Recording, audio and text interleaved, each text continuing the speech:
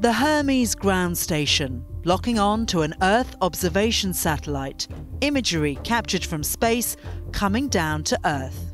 If some frontline command person wanted to know the area that they're going into, we can provide them with imagery information and more on what's in front of them. The satellite Carbonite 2 passes over the Hermes ground station three times a day. As it comes over the horizon, the ground station antenna locks onto it and the satellite transmits the pictures it's recorded in space. Satellite images of Buenos Aires,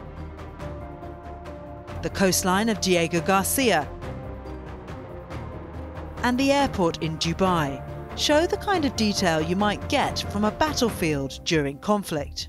The more you, you dig into the understanding just how much we rely on space. Air Vice Marshal Harv Smyth is the MOD's first ever director space.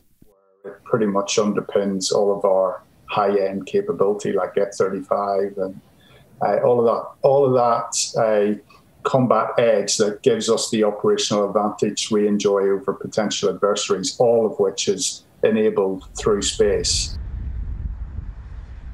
Hermes represents the MOD's most significant investment in space in the last two decades.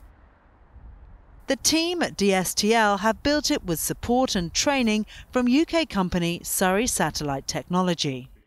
We build and manufacture uh, small satellites, and it's that uh, heritage and operational use of satellites that we're able to bring to DSTL so that DSTL has that technical authority within the UK rather than, uh, you know, sort of learning from scratch themselves. The Hermes ground station demonstrates Britain's growing ambitions in this domain and the desire to increase space related capabilities in defence.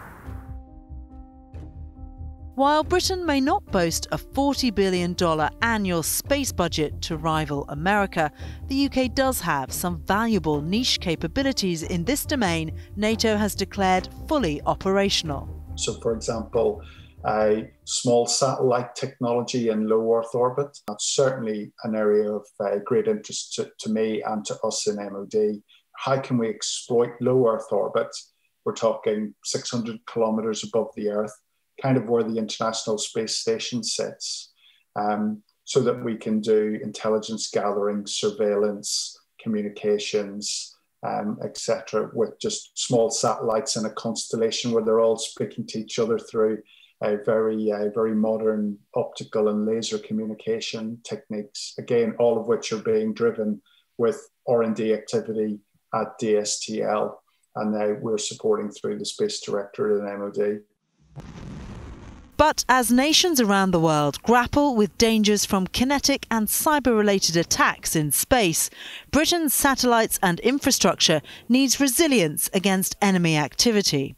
If we're going to be increasing uh, the number of assets we have in space, we need to make sure that we can look after those in exactly the same way we would look after, you know, uh, tanks going around the battlefield or ships at sea. Last July, the Russian Defense Ministry released a video of a test launch for an anti satellite missile system. We're seeing other state actors commit more and more nefarious activity in space. There's a multitude of different ways to threaten space based assets, and a lot of that threat can actually come from Earth based equipment.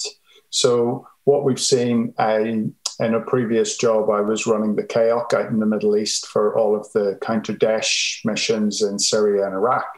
And we saw there the Russians were, they had specific uh, land based jammers that they were using to jam satellites that then subsequently jammed communications, they jammed GPS codes. So it made it difficult, made our weapons uh, work harder to deliver the precision that we expect from them. But there is a spin off from that if you're flying overhead in a commercial airliner, that jammer is also jamming you. And now your navigation equipment isn't working and it's putting that at risk. So, uh, having a, a, a more responsible approach to our behaviors, either in or to space, is really very key. A relocatable ground station like Hermes takes the UK to the next level of space capability Not just an interested partner benefiting from the expertise of allies, Britain now has sovereign assets in a domain that gets more important every day for defence and national security.